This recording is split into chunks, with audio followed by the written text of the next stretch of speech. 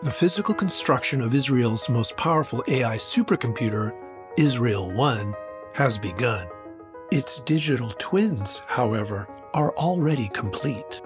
NVIDIA Air and Omniverse are used in concert to create a holistic simulation of how the data center will behave, both logically and physically. The insights garnered from these digital twins accelerate Israel One's construction using parallelism, saving months of time in system bring-up. With NVIDIA Air, architects designed, configured, pre-validated, and automated the NVIDIA Spectrum X network to optimize data movement.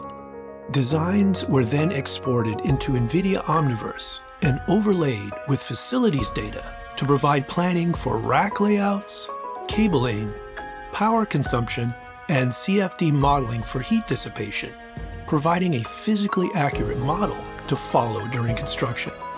Once construction is complete, the automation developed in NVIDIA Air will be pointed at the real equipment, and with a push of a button, the most powerful AI supercomputer in Israel will be up and running in record time, accelerating time to value and providing a blueprint for future generative AI factories.